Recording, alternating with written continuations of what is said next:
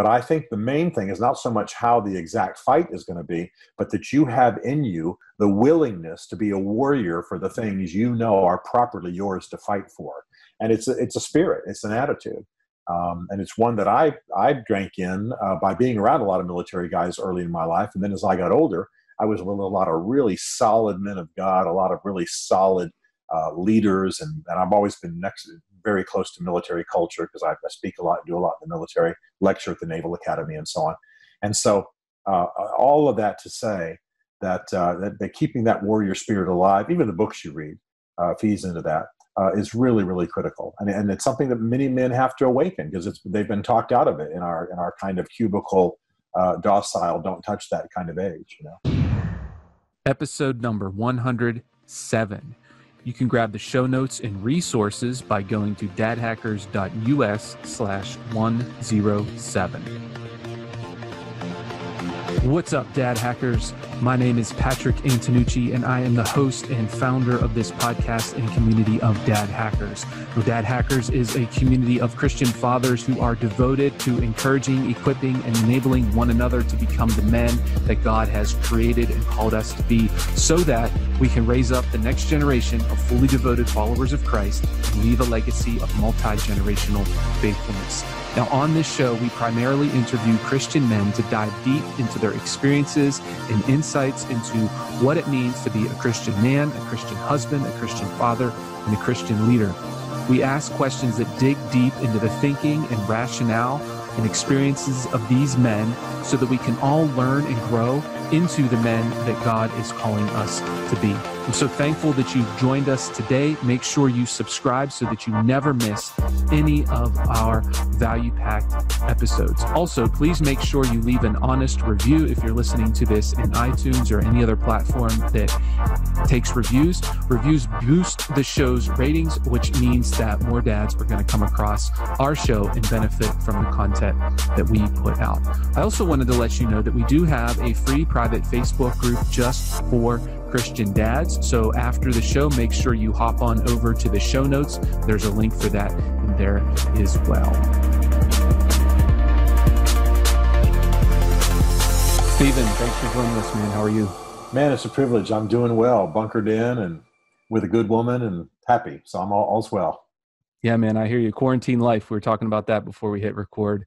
I'm bunkered down myself with my wife and kids, and uh, trying to make the most of it and look at the opportunities that this situation presents trying to have that kind of mindset going into this. Smart way to go. Smart way to go. Yeah man. Yeah. So let's jump right in. How about you introduce yourself and then uh, we'll we'll get right into some stuff about your new book you have coming out. Great. I appreciate it. I'm probably best known as a new york times bestselling author. I've written uh, the faith of george w. Bush the faith of barack obama Lincoln's Battle with God, other books like that. So I'm sort of known as a biographer with an eye towards faith.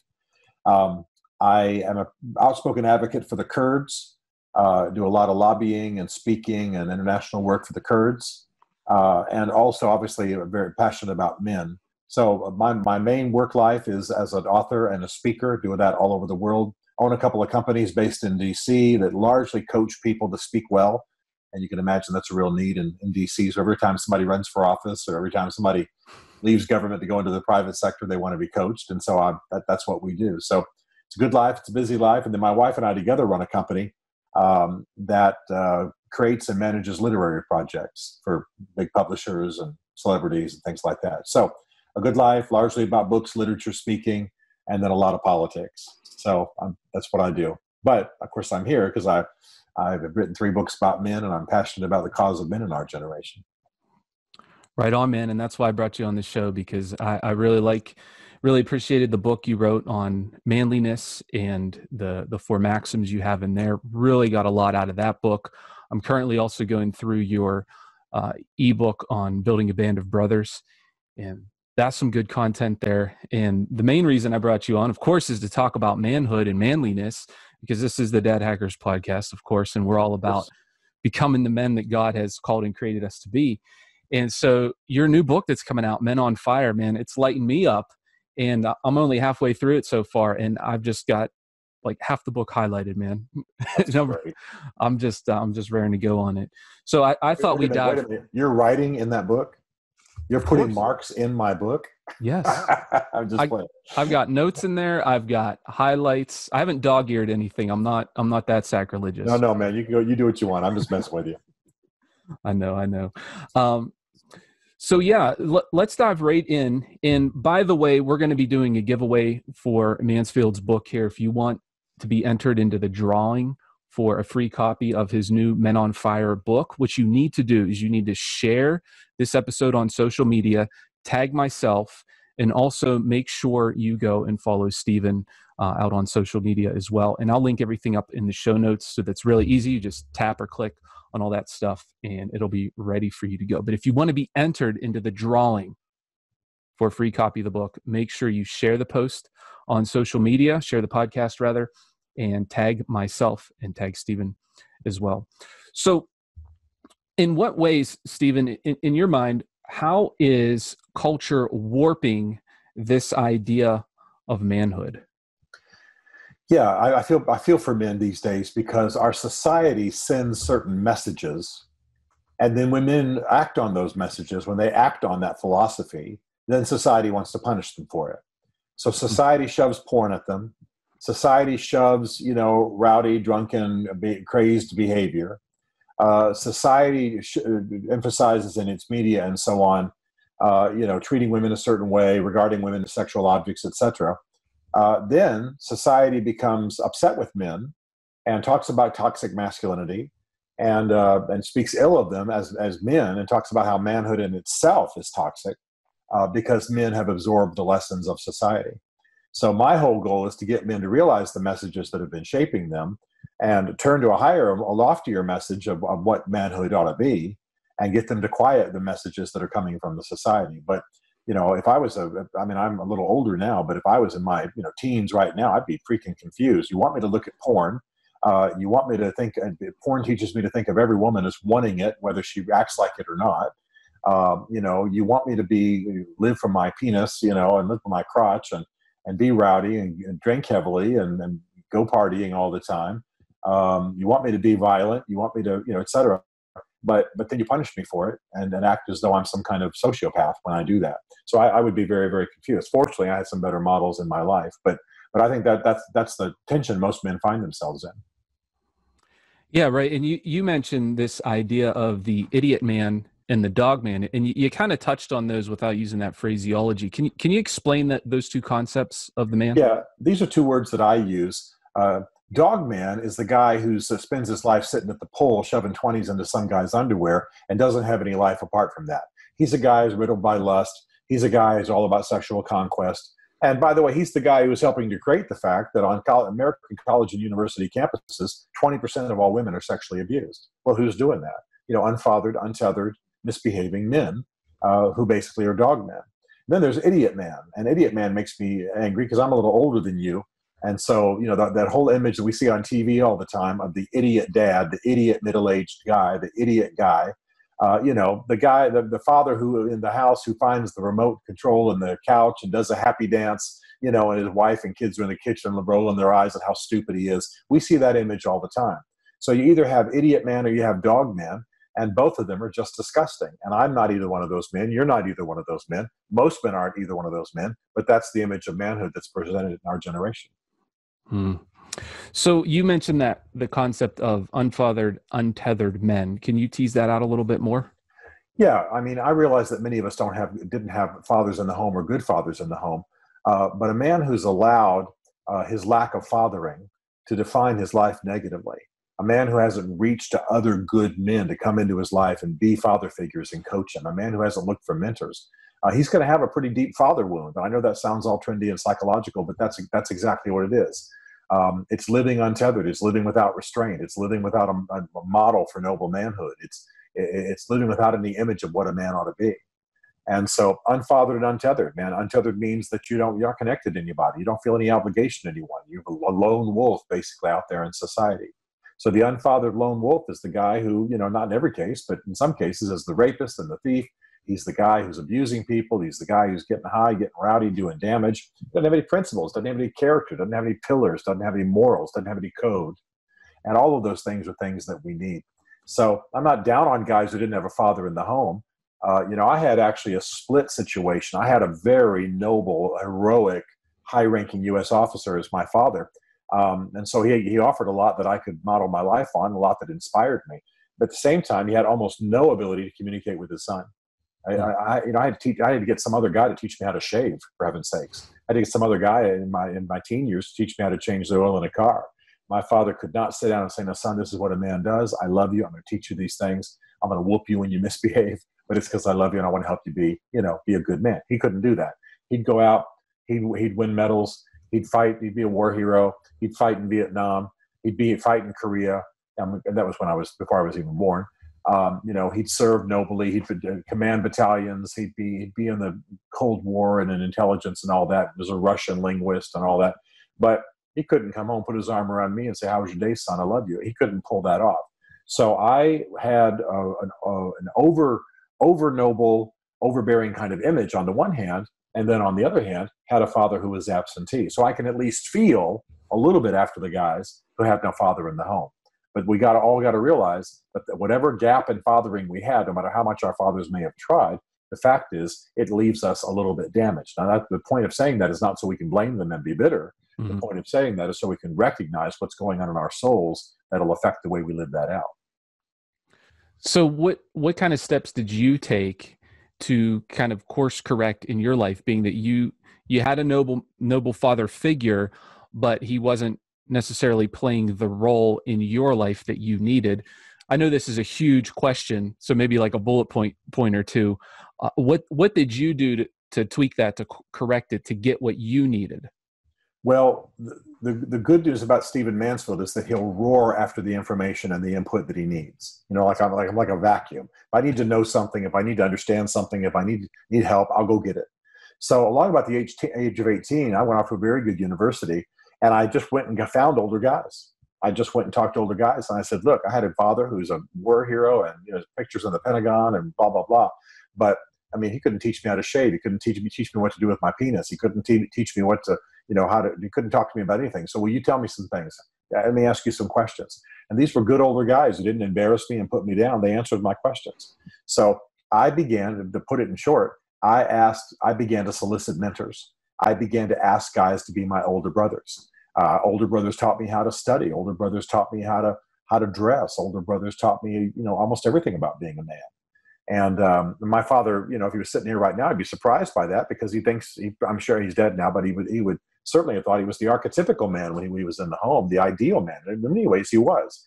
But it's not enough to be a model; you have to communicate it. So the way that I answered that was I went after information, I read, I studied, I learned, and I went and found good men. If I saw, uh, when I was a freshman in college, if I saw a guy who was a senior who I thought was exemplary and had real character and really carried himself well and did certain things well, I'd say, let me take you to lunch, teach me.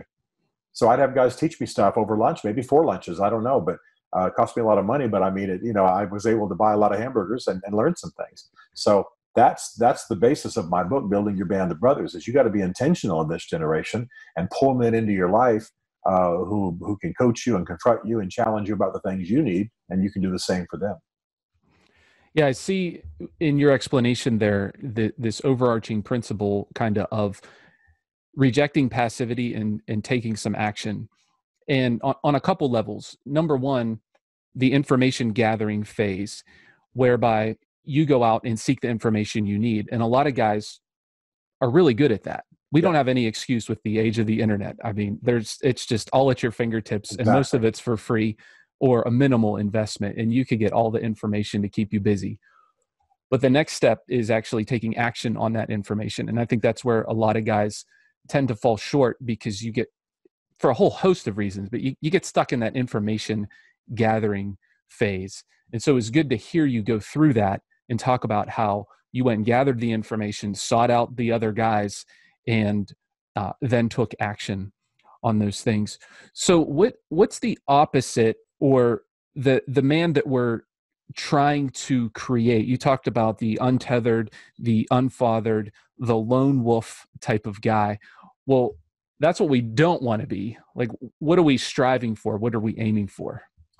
Well, we're aiming to be guys, first of all, and I'm not trying to preach here, but who are connected to God. God created manhood. Uh, I'm, not, I'm not trying to turn this into a religious thing, but I mean, I, a lot of a lot of what happened for me was that I became a Christian when I was 18, connected to God, realized He had a higher he, that He created manhood, and um, that He had a had a pur- purpose for uh, me as a man. And so there was something good and pure and noble about being a man that I wanted to uncover that I had not lived for the first 18 years of my life. Then, second of all, um, you have to have a code. A man lives by a code. He lives by a behavioral code. Women are treated a certain way. A man needs a certain level of controlled rowdiness. Um, you know, here's what happens when a man gets angry. Here's what happens when a man hurts. You got to be able to have a code. You got to have principles by which you live, the way you treat people, the, uh, recognizing the power of your words, recognizing the power of your physical strength, and using it for noble reasons. That's what all that, that, that a manly code is about. And then third of all, for me, it's about building a band of brothers. Um, so, the, so the kind of men we want to be uh, are men who are living out the noble code of righteous, great, noble manhood, but they're doing it embedded in a band of brothers. So that's that's what we want to be, and that that then uh, you know begins to filter out in every other areas of my life. Uh, notice that I'm not even talking about being a husband or a father uh, or even a professional, because if that's what I am at heart, connected to God, living out the noble code of righteous manhood, and doing it with embedded in a band of brothers, then my life, my characters, uh, and that manly vision is going to flow out into everything else that I do. So that's the heart of it, right there. I mean, obviously, you and I could talk for ten years about what what noble manhood looks like, and we we probably should. Uh, but the fact is that those are the three things that really define me, and I think define a good man. Um, you know, where where where where are you with God? Where are you in terms of a manly code and where are you in terms of embedded in a band of noble brothers? That that that defines almost all of it and, so that's that's how i approach it. So in your book you talk about these seven fires that burn in a man's soul and so what's so compelling about fire? Why fire? Why why use that?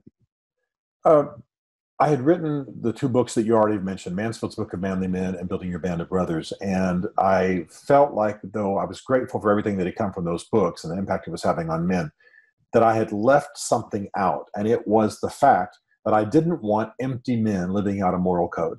I didn't want just men trying to behave themselves. You know, I mean, I hate the kind of approach to manhood training that goes, don't touch that, you know, basically. Uh, so I began to realize that what, what was really missing in a lot of men, even men who had read my books, other good books, had been to conferences, et cetera, learned what they needed to learn, was the fire. What was the fire? What really, what really distinguished the men that I loved uh, and the men that I admired? And it was fire. It was, it was a passion. It was a zeal from the inside. It was a dynamo on the inside. Uh, so I began to identify what that was. Now that was that was obviously present in my other books. I'm not saying they were empty of that information and perspective, but when I when I really identified the seven fires, that's when I really put my finger on what needs to be restored in most men.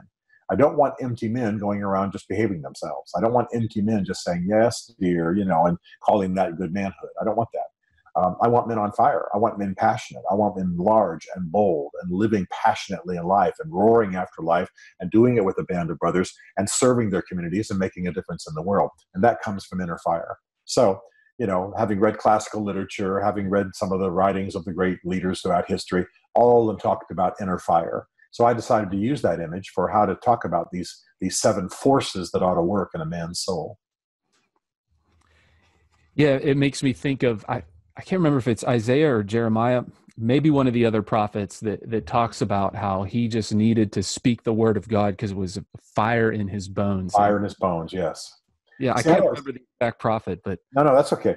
Uh, but I mean, you, you know, if I'm talking to you, let's say you're some guy who's just now stepping into noble manhood, you're just starting to think about it. I don't want to drag you along, you know, okay, here's what you have to do next, you know, and you're dragging along, and this is what I got to do to be good. I don't want God to torch me, you know, kind of attitude. And uh, I want you to be on fire, man. I want you to roar after it. I want you to be inflamed. I want to, I want, I want noble manhood to be like fire shut up in your bones, as the prophet said. So all of that to say, um, but bringing that to men, I think is important. Plus, by the way, when we get a little bit into what the seven fires are, we're going to understand that a lot of this is about looking at your own circumstances, looking at mm-hmm. your own mm-hmm. heritage, looking at your own life, and seeing where you already have the stuff, the, the, the well, let's, let's call it the material to build a, a fire in your soul. Um, and that's what I wanted to coach men to do. Not just, I didn't want to just say, come be a noble man like I'm trying to be. I wanted to say, you've already got the building blocks of that in your own life. Let me show you how to do this. Yeah, I think a lot of guys have it within themselves, like you said, and, and maybe that fire's been extinguished. Maybe there's a wet blanket on it. A whole host yes, of things. Absolutely. I'd like to park on this uh, this fire of destiny that you talk about, or excuse me, the, the, this um, fire of of the warrior spirit. Um, how would you define the warrior spirit within man? I believe in a man there needs to be a recognition, first of all, that he is a warrior. That whether we're talking about spiritually, emotionally, actually on battlefields in the world, for those he loves, uh, contending, that that needs to be part of his inner fire, that needs to be part of his inner passion, that needs to be part of his equipping and training and preparation. Um, and so if a man thinks of himself as going to battle, now I think that's been beaten out of most men. You know, mm. if you've been sexually abused, if you've been beaten down by a critical parent, if you've been um, abused in other ways in your life, or if you've been talked out of that, if, if, we, if you were rowdy on the playground in elementary school, and I'm not picking on them, but a female teacher said, behave yourself, stop that, calm down all the time. If that was the message, well, then, then you lost the sense of inner fire. But, but, but men need to contend. Men need to be in sports. Men need to be have that controlled violence of athletics. They need to go out on the wild a little bit. And this feeds uh, that warrior spirit. Now, it doesn't make them violent, doesn't mean you've got a whole room stacked up with weapons, you know, and all that kind of stuff. It just means that you are ready to contend. You can contend in prayer, you can contend for the emotional safety of people. You can contend for your kids where you need to. You got some fight in you. You got some get up and go. You got some stand. You know, we watch movies and we admire that stuff, don't we? I've always loved the line in Tombstone uh, where the guy says, Well, to get to him, they're going to have to go through us. In other words, we've got it. To get to him, they'll have to go through us. And so sometimes friendship is being a warrior, you know. Um, but I think the main thing is not so much how the exact fight is going to be, but that you have in you the willingness to be a warrior for the things you know are properly yours to fight for. And it's a, it's a spirit, it's an attitude. Um, and it's one that I, I drank in uh, by being around a lot of military guys early in my life. And then as I got older, I was with a lot of really solid men of God, a lot of really solid uh, leaders. And, and I've always been next, very close to military culture because I, I, speak a lot, and do a lot in the military, lecture at the Naval Academy, and so on. And so, uh, all of that to say that, uh, that, that keeping that warrior spirit alive, even the books you read, uh, feeds into that uh, is really really critical and, and it's something that many men have to awaken because it's they've been talked out of it in our in our kind of cubicle uh, docile don't touch that kind of age you know all right, guys, wanted to take a quick second to tell you about the Iron Men Mastermind. If you're looking for a band of brothers that you can lock shields with, that can go to battle with you in the day to day life, who are also in the trenches going through the same struggles and the same challenges that you are going through, I suggest you check out the Iron Men Mastermind. This mastermind was developed and designed for Christian men to help us become the men that God has created and called us to be. And it's designed to help us increase our relationship with God, increase our relationship with our wives, increase our relationship with our children and begin to provide better for them financially, spiritually, emotionally, psychologically, relationally, in all of those areas, those areas that, those things that wake you up in the middle of the night. These are the kinds of things that we work on these are the kinds of ways that we can help you out in the Iron Men Mastermind. If this is something that is of interest to you, you may want to join the Ironman community, and you can check out more information at dadhackers.us slash Ironmen, one word, Ironmen there. All right, now back to our show. Mm-hmm. So you kind of hinted up at it a little bit in the beginning of your answer right there, but in the book you talk about how true warriors contend for as well as against. Can talk about that distinction a little bit? Yeah i contend for things. I contend for the kurds. I contend for justice in the world. I contend for uh, peace and against uh, you know for certain things but then i contend against things as well. I contend against crime in my neighborhood if it's happening. Uh, i can i contend Um, a, a, little old lady. I, I, live in two downtown buildings, one in D.C. and one in Nashville. Little old ladies being oppressed by somebody. A couple of us men get together. We contend against that. We stand up against that guy. Um, I, I, won't tell you the exact circumstances, but years ago, uh, I was informed that a man was beating his wife. Well, two or three of us showed up. We contend. We made we made him let him know. He continued doing that. He wouldn't be dealing with her. He'd be dealing with us. Now that sounds all bold and bravado and ballsy, uh, but the fact is that that's what men do. Men step up. And if that guy had wanted to actually have it out physically, we would have done it because we were not going to let him beat his wife anymore. Now, I'm not trying to, you know, thump my chest and say that I'm Mr. Warrior here, but you have to be able to contend for and against. Uh, for positive things and against negative things. And you have to have the wisdom to know the difference. And it doesn't mean you're a brawler. It doesn't just mean you're macho. It doesn't mean you're picking a fight with a waiter, you know, or mm you know, jumping out of your car at a traffic stop because some guy cut you off. I mean, you're not that kind of idiot who's always looking for a fight. You're calm. You know, I got to tell you, when I was playing football, the guy who scared me the most was the polite, quiet guy on the other side of the line. He was the one who was going to kick my backside, right? Uh, but the guy who was talking smack and I'm going to kick your butt and all, I, mean, I just like I ignored him because I was going to clean him out. So you don't want to be the idiot who's always looking for a fight. You want to calmly know who you are. You're going to know that you got warrior spirit in you. You're going to keep a warrior ethic in your life. You're going to have some skills, by the way, and some tools. And mm-hmm. you're going to contend for and against the things that you ought to. But you contend for the good and against the evil is the short way to explain it. You also talk about the invisible battles men face. Can you talk to me about some of that as well? Yeah, every man is going to fight an invisible battle for um, mastery over himself. Mm-hmm. Uh, I don't mind telling you that, that one of the things, I've said this publicly many times, um, one of the things I battle, I don't have any addictions. I don't have any, you know, no, no booze, no drugs, no porn. I don't have that kind of stuff. I do fight uh, in my soul um, letting go of offense. I, I, for whatever reason, maybe because I had a somewhat harsh father, who knows why, uh, I have a soul that's coated in Velcro, and offenses stick. So I'm throughout my life, uh, and this has certainly affected my spiritual life, and I've had I've had to really work on this. Um, I can get offended easily. I, am less less there now than I was 20 years ago, but it's a factor. So that's an invisible war I have to fight. If you hadn't asked about it, you would not know. And if you were with me, you'd think, well, Stephen's pretty fun guy. It's, easy to get along with.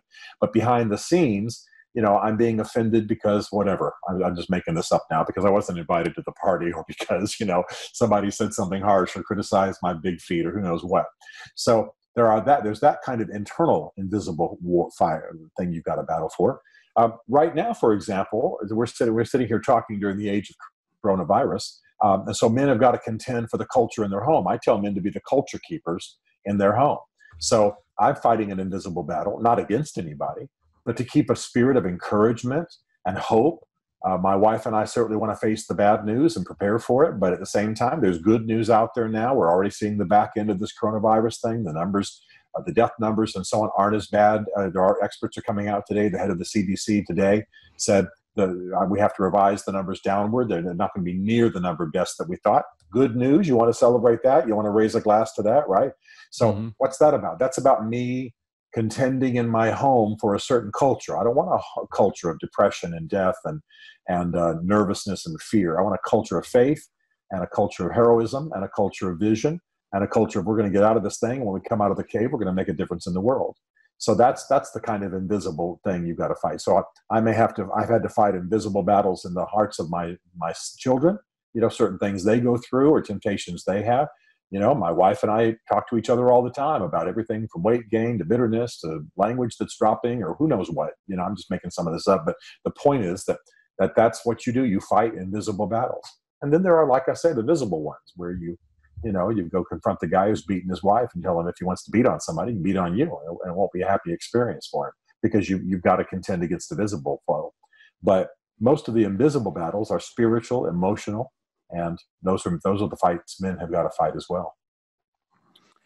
So in chapter three, this is this is the fire of destiny. You talk about this idea that a lot of men have this this nagging sense, maybe in the back of their head, that they were created for something more that there's more to life that they they're called to a bigger thing than what's currently going on in their life or what they're currently pursuing can can you speak to that somewhat Yeah, I, I believe, of course, I'm a Christian, so I believe that men are made with a destiny. I believe we are all created for a purpose, that we come from the womb with a purpose that God has set.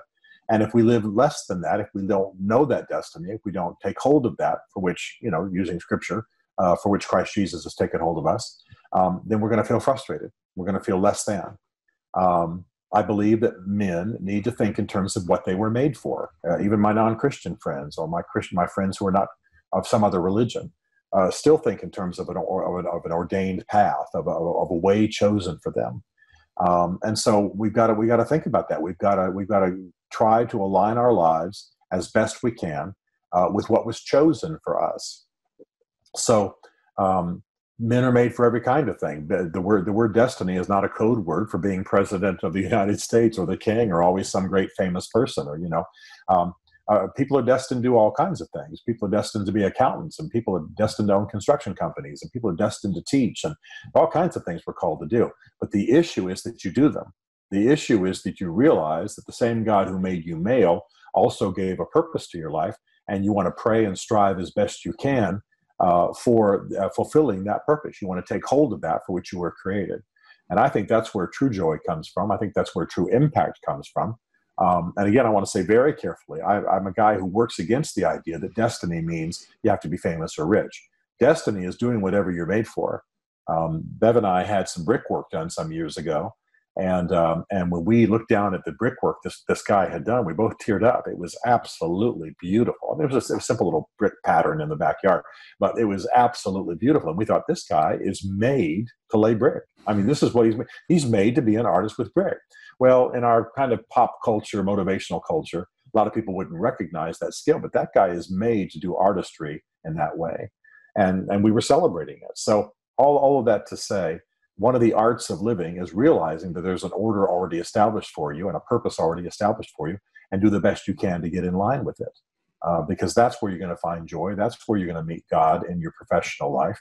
Uh, that's where you're going to find all of your pistons firing so to speak i think that's important for guys to understand on kind of two fronts number one understanding that your life has value has meaning has purpose and you didn't just evolve from a rock you know you're right. you you have a, a, divine path set before you and and number two that what you're doing is important and yes. is impactful and that you can pursue great things and I, I, like how you included that you don't have to be rich and famous to live out your destiny because no. I, I think that's the the culturally defined idea of what destiny is or being successful but not at all man no, destiny is simply a prior plan, and you fulfilling your destiny is you getting in line with that prior plan. And so, you know, thank God that right now there are people who worked in obscurity to develop medical devices, to become nurses and doctors.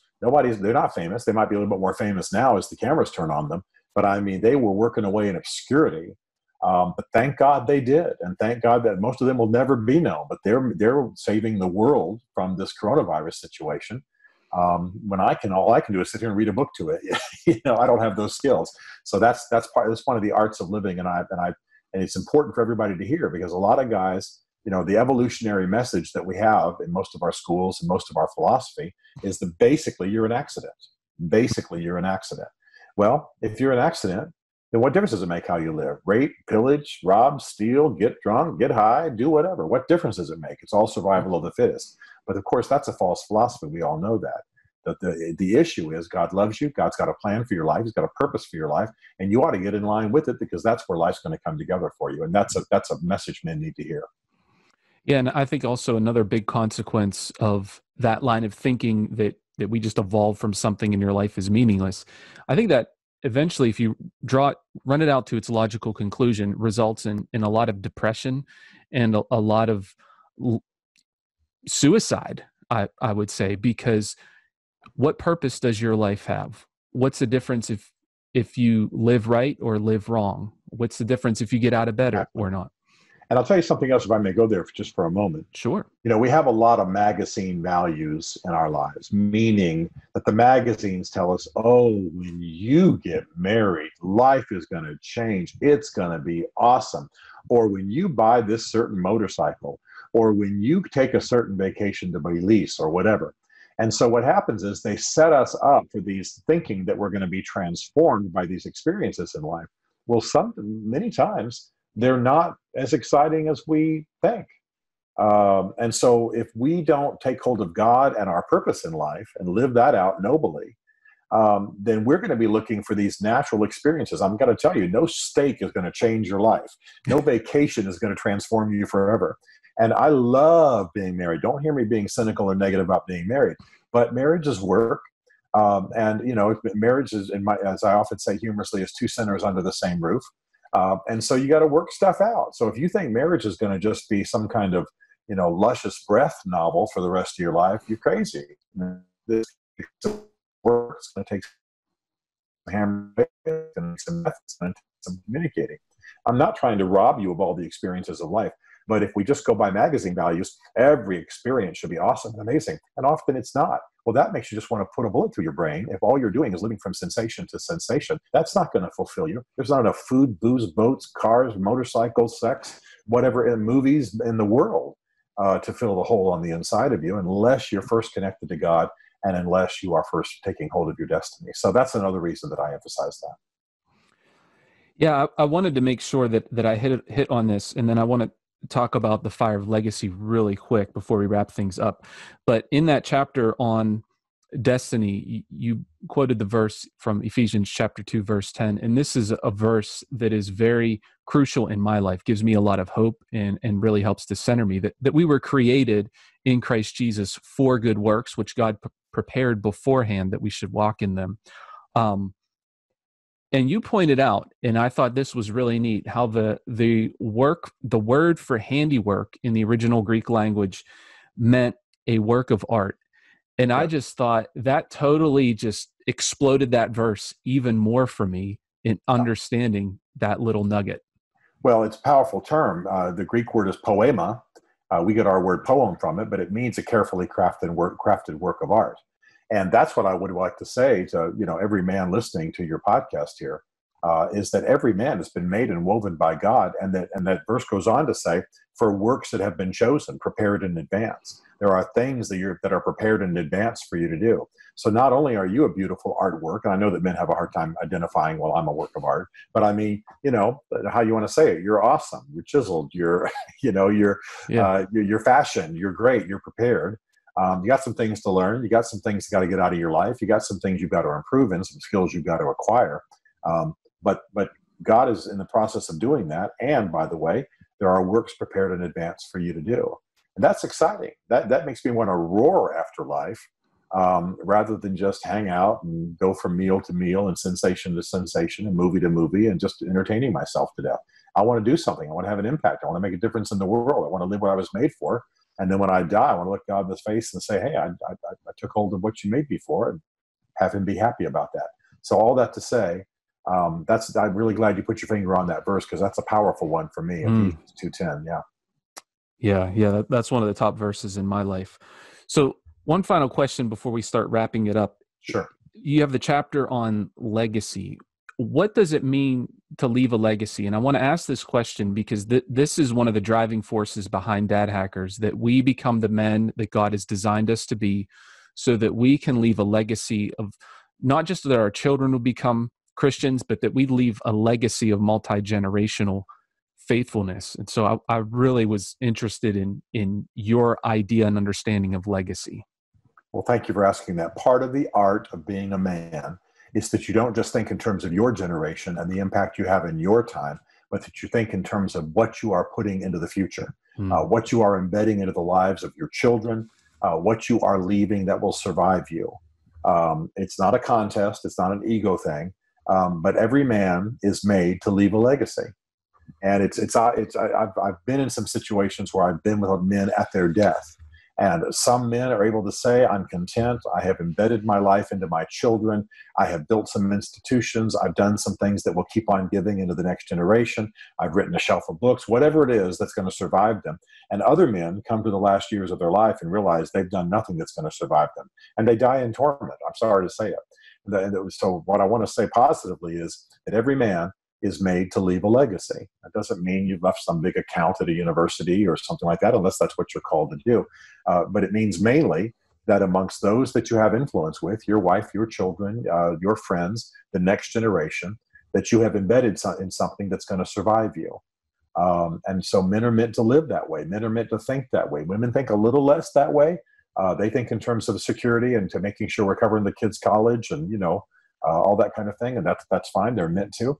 But men are meant to. Men are designed to think a little further out, think beyond their life.